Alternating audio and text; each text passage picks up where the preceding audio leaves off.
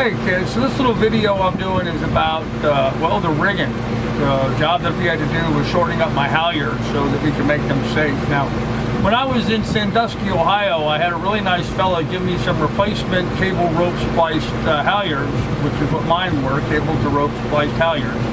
Uh, only his were much, much newer and much better shape than mine were in. However, they were too long. They were longer.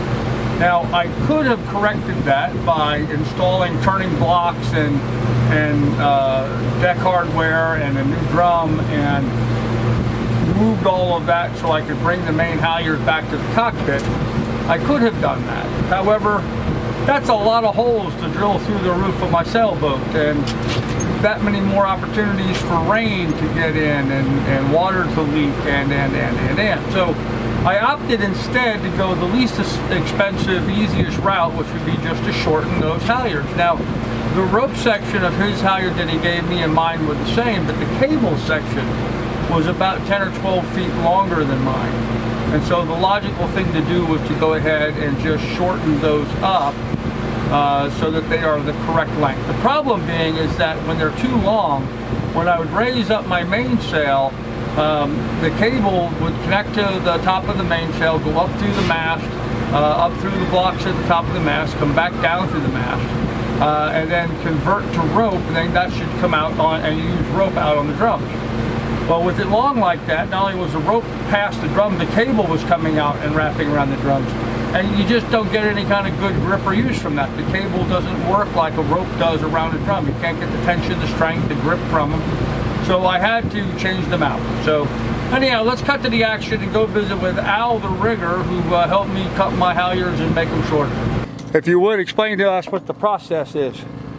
Uh, so we're, we're cutting the cable here. We're yeah. cutting off the old... The old shackle.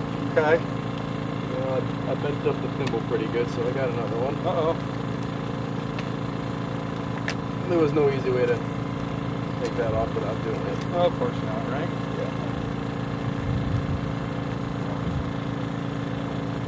Barely fit in That needs to be replaced.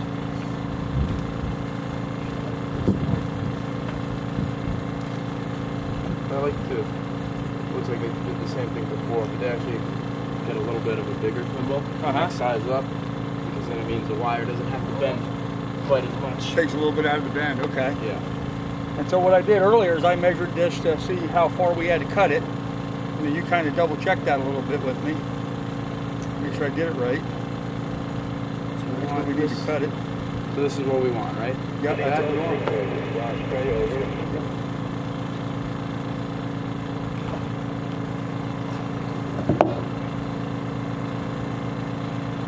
Now, I don't have that tool, but I do have a, a cutter I could have used. I have a battery operated metal cutting blade, you know, circular blade. Yeah. And it works really good for that kind of stuff. But what I don't have is that crimping tool. Yeah. Otherwise, I'd have done this myself. Yeah, these crimping tools come specific sizes. Yep. So you need one for each. So one inch wire, I brought down a one inch tool. Uh, yep, got to get exactly the right size, and that tool is like a uh, hundred bucks. Yeah, I mean, you know, if, if you're good on uh, the internet and on Craigslist, you could probably find a used set, but yeah, they get up there and I'd be concerned about someone selling something like that used that it was trashed already, you know? Yeah, it's very possible. So, uh, and for as often as I'm ever going to do this, which is once, you know, I just don't justify owning a tool like that, you know? And I have a lot of tools. Got the right ferrule, huh?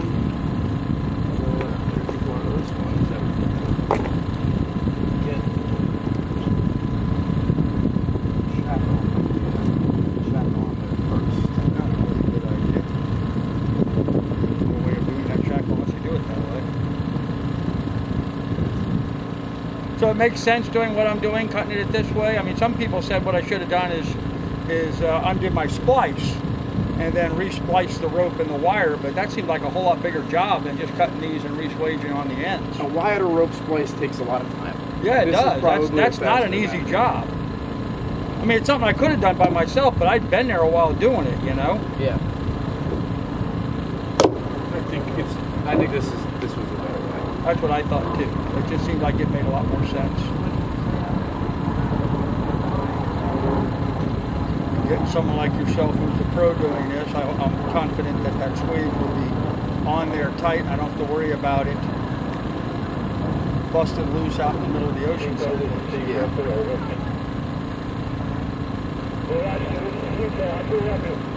Okay, uh, this fellow has a, uh, an electrical system that's not working, he's taking on water.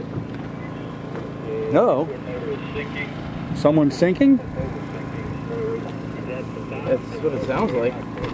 Are you on 16? What do you want? I'm scanning. Better operator of the relaying for the show, is that what you're doing? Standing right next to him, but he, I'm a better operator of the radio than he is. Hold hold on a second. Uh, you- are you relaying to Rob? Better operator of the radio? Everybody is safe, they're off the boat. Yeah, I'm afraid there's a sink here, brother. I did a great job. Pay attention. Forty-one, seat up. Seat up. Note when you do these that the ferrule will stretch. It'll grow a little bit. Yeah, So you can squish leave- it. You Yep. can leave a little bit out, Yep. and it'll cover it up. Now, did you put that little green ball back on there? See? That's the kind of stuff. Right there, right there in front of you, under your right knee. You got to point out, you know. Yep, there we go. Okay. Glad I did that. That's the only way I know which one's which when I'm when I'm going forward is just to make sure I got the right one. There's one's green and one's blue.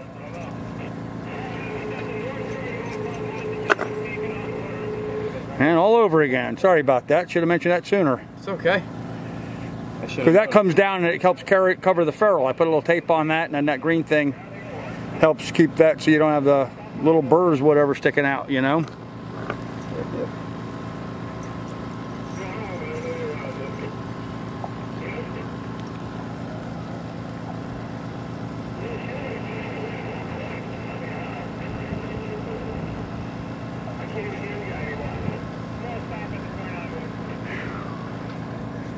So do you do much sailing, Al?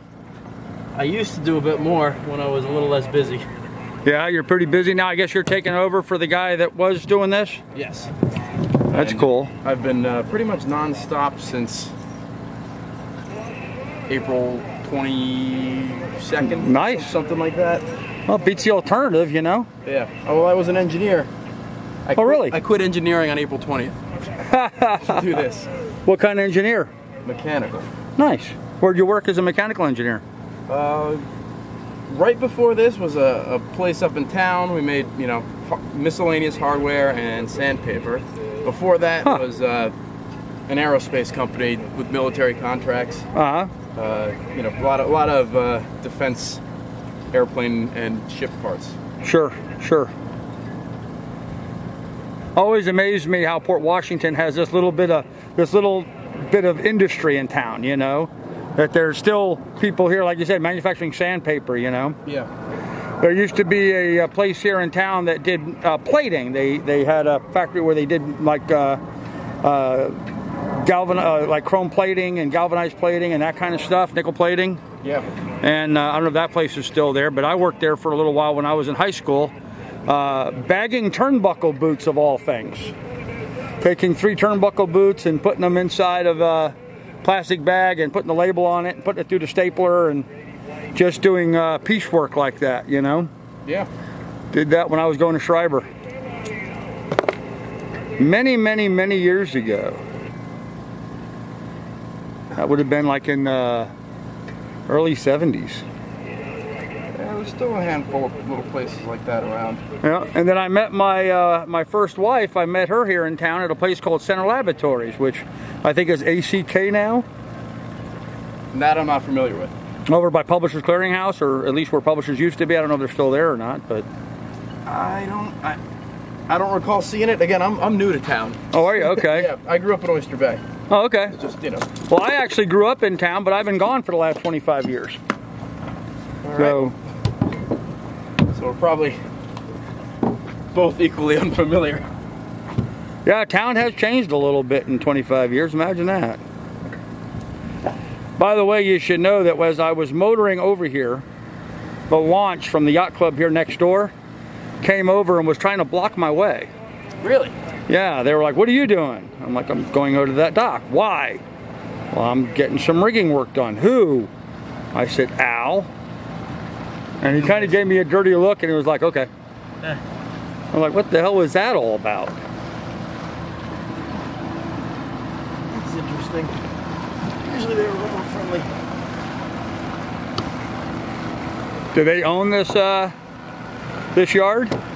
Uh, technically, yes, but they don't like to view it in that sense. The yard tries to, you know, Stay independent of the yacht club? Yes, but as far as you know, who owns the property, things like that, it's it's all owned by the same people.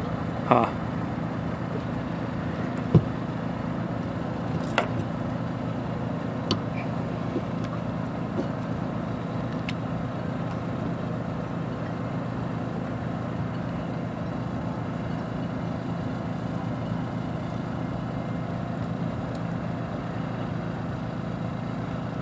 Getting a third crimp on there.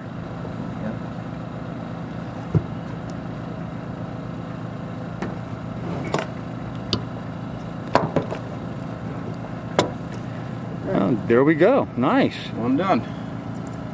One and done. So over that pretty perfectly, huh? Yeah. Yeah. Those little those little balls on there are kind of a neat deal, you know? Yeah. All right, good number two.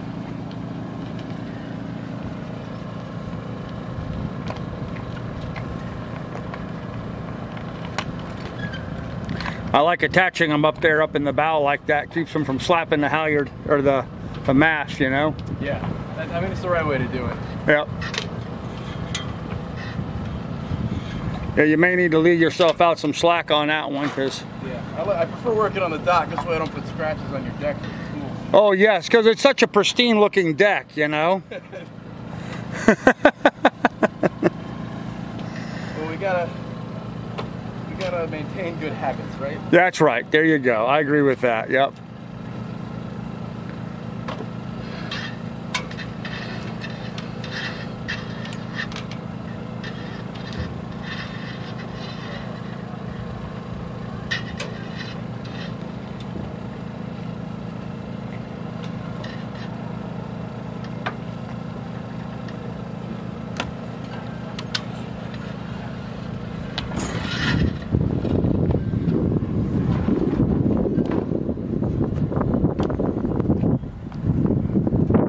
This whole roped uh, s- uh, cable seemed like a weird system to me anyway, though. It is. It's, it's kind of outdated now. Yeah. A lot of people do it anymore, especially with uh, you know, the new Spectra halyards that's available. Oh yeah. Yeah, it's like a really, Really strong rope. yeah, a really strong no stretch or very limited stretch Right. line you can get. It's, Yep. it's expensive, but it's a lot lighter than uh, steel. It's got real close to the same braking strength. Huh. Pretty unbelievable. Yep. Yep. I said the yellow. So you know what the trick is on? You don't go on one side, you go on the same side as Joe. Gotta try twisting that to get that piece off there. The latch.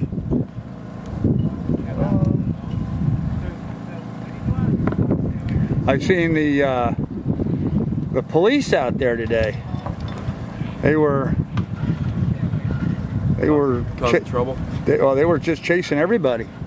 They were stopping out there, stopping all the boats and boarding them. Anything with a foreign flag, they were stopping and boarding, which I was surprised to see police doing that. I would expect that from coasties, Yeah. but I wouldn't think the police would have the authority to do that. They're on a boat. They can they can pretty much do whatever they want. They don't even need a reason to board a boat. Really? Yeah, it's, it's not like uh, I thought that was only true of the Coast Guard, not for police. I thought only the Coast Guard could enter your boat with uh, without probable cause. you might know more than me. Well, I don't know. I mean, I'm, I'm, I'm but you're, you're saying the opposite, huh? Well, I just I know that. Well, it may maybe it is the Coast Guard that I heard, but you know, in, in some cases, you know, it's not like your house or your car. You know, like if someone wants to board your boat, some law official, you kind of gotta let them. Huh. Well, that's not cool. Especially this case, because this is my house. Right. You know. You might have, you know, you might have a case. You think it makes a difference whether it's a pleasure boat or a liveaboard? Should. That, that you'd have to ask a lawyer. Yeah. Well, I know they were boarding all the all the foreign flagged vessels out there. They didn't bother me, but they got uh, four boats in a row right next to me that were all foreign flagged. So, and it wasn't Coast Guard; it was a police boat. You never know. You know, I'm not too familiar. I just, I just try not to break the laws. I agree with that. Yeah.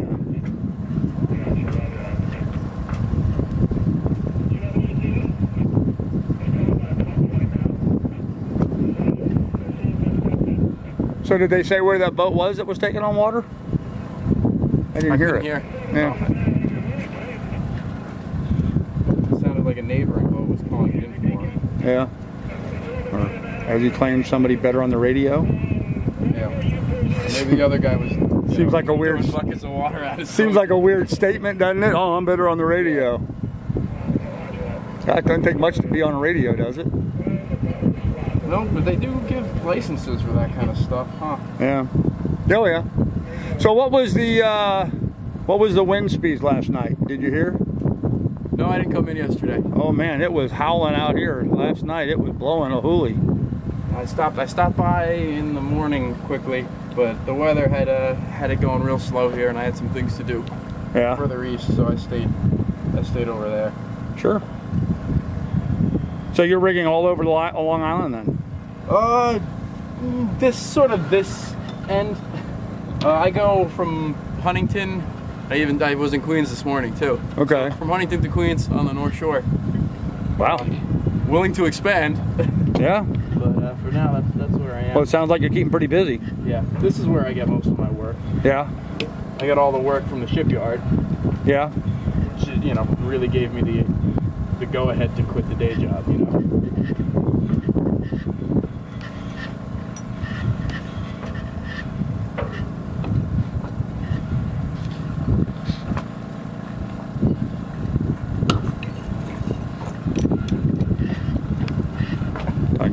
The day job, I'm not paying attention to my filming here.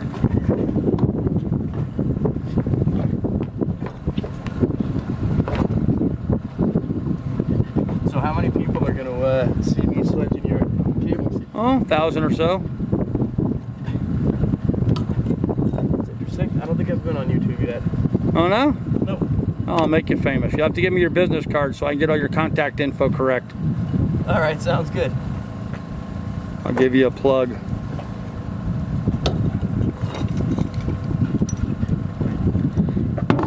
All right, number two, all done.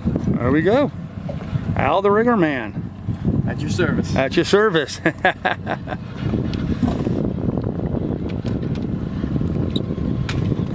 uh, do you take plastic? I do not take plastic, unfortunately. Is there an ATM close by? Yeah, there's one in walking distance up and down. Okay.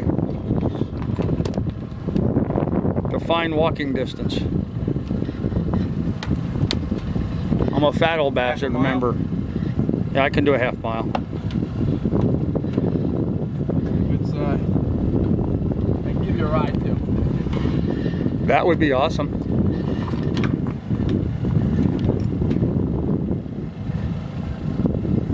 Yeah, I just didn't think it was a good idea to have all those wires wrapped around the drum, you know? Yeah, they don't hold anything. No. And uh, this way, because the other option I had was I was going to put a turning block and then run run blocks back and put another uh, drum, you know, back there, another winch, Yeah. and then run the lines aft into the cockpit.